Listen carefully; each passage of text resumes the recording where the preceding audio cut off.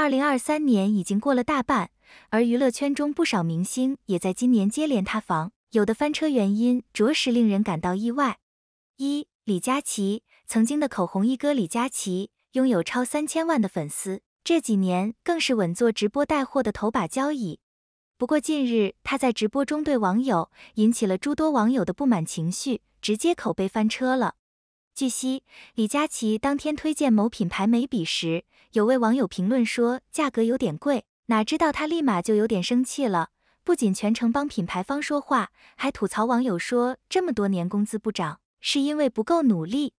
该事件一度承包了热搜榜，而李佳琦也因为其傲慢的言行掉粉超一百一十万。之后，李佳琦在社交平台上发文道歉，但依旧遭到不少网友的吐槽。次日，他又在直播间中哭着道歉，可网友们仍不买账，评论区里骂声一片。一些网友认为李佳琦的道歉并不真诚，还有网友说他现在迷失了自己，只是在走公关流程罢了。就连官媒都下场点评，让李佳琦们别再飘了，否则注定被厌弃淘汰。二，宋祖儿，宋祖儿是童星出道，原本也是被大家看好的九五花。而且他的多部待播作品都质量不错，但前不久他被爆出被人实名举报偷漏税，涉及金额高达四千五百万。接着各大卫视删除有关宋祖儿的物料，品牌方也跟着删除了宋祖儿的代言物料。目前官方正在对宋祖儿进行税务调查，而宋祖儿的前公司发文澄清，表示从二零二零年十月起就由宋祖儿及其家人自行管理财务资料。如今，宋祖儿的多部待播剧《无忧渡》《艰难的制造》等或受影响，她还被扒出嘎戏、酒醉踢人等黑料，口碑也是直接翻车了。三蒋依依同样是童星出道的零零后小花蒋依依，她近日也是遭遇翻车了，被人实名举报偷税漏税。该网友称，七月收到了稽查局检查告知书。税务局已经向蒋依依方追缴了二百三十八万余元，还说任何人都不应该有侥幸心理。事后，蒋依依工作室发文进行了说明，表示未能按时履行自身法定纳税义务，深感抱歉，以后会严格把关，紧盯税务工作。虽然蒋依依方进行了道歉说明，也完成了税务补缴，但网友们对她的评价也是下滑严重，称辜负了原本的期待。四那英。前段时间一连串的爆料揭开了《好声音》的黑幕，也让那英等导师被网友关注。接着，那英讽刺刀郎的事件被扒出。当年那英作为歌手评委，当众说刀郎的音乐没有审美，还说不能光靠销量，言语十分讽刺。最近刀郎发了新歌《罗刹海市》，仅几天就有了五十多亿的关注度。而这首歌的歌词也是引起了一波网友讨论，认为刀郎是在内涵那英等人。还有不少网友跑去那英的评论区调侃，可见那英的确塌房严重了，评论区都沦陷了。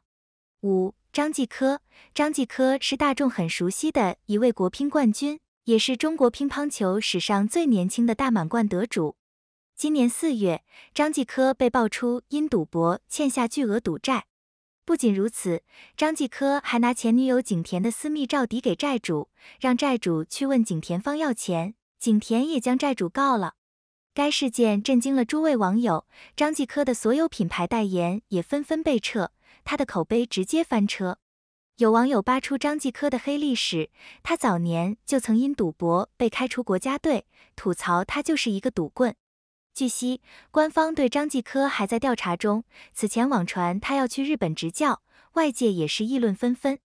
六蔡徐坤。前段时间，歌手蔡徐坤被曝与一位 C 女士在 KTV 相识发生性关系后，该女生怀孕去医院打胎。而蔡徐坤妈妈得知此事后，怀疑女方另有企图，一方面想要女方赔偿，另一方面还让人跟踪 C 女士，非法安装监控。事件爆出后，蔡徐坤方一度冷处理。狗仔又爆出蔡徐坤私生活混乱，不止一个情人。此后，蔡徐坤发文澄清。说两年前自己单身与 C 女士有过交往，两人的私事已经解决，但网友们仍不买账，官方也提示相关品牌方和机构对其做好风险把控。这也导致《跑男泰国篇》延期播出，节目后期加班加点为其打码。不管蔡徐坤后续将被如何定性，但他对品牌方和综艺节目都造成了很大影响，网上口碑也是翻车严重。七，陈飞宇，原本陈飞宇在很多人心里都是单纯大男生人设，没想到他也出现了大型翻车现场。他在网上被爆出与一女网红的酒店床照，令人大跌眼镜。而照片中陈飞宇的素颜睡相，还被网友们吐槽说是吴谦二点零。之后，网上又扒出该网红已经结婚了，床照是其老公卖的，还说陈红曾想花二百万买下这些照片，但没谈下来。最后，陈飞宇工作室发了声明，否认其男小三的传闻，称交往期间双方单身。该事件对陈飞宇的口碑和路人缘影响颇大，甚至还被 diss 是小三世家。八李诞，今年效果文化的 House 在脱口秀现场言语不当。造成恶劣的社会影响，引发了网友们的广泛关注。该事件持续发酵，这也让效果文化的艺术总监李诞被牵连了进去。大家纷纷质疑他当初是怎么让这个节目过审的。不仅如此，官方对效果文化进行了处罚，还暂停了该公司的所有商业演出。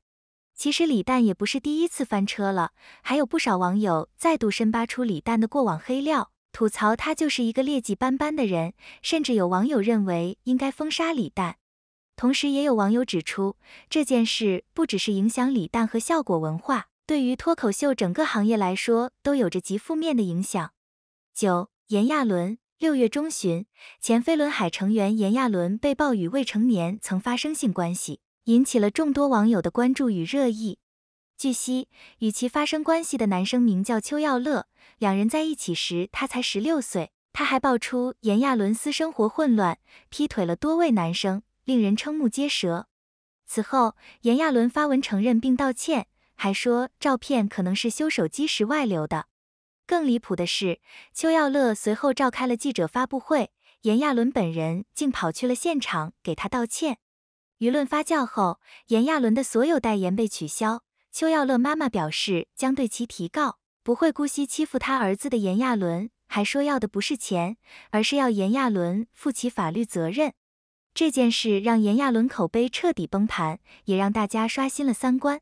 这九位明星因为不同的原因相继翻车，让许多网友们也感到有些意外。但只能说，娱乐圈的公众人物需要严于律己，爱惜自己的羽毛，从艺先从德。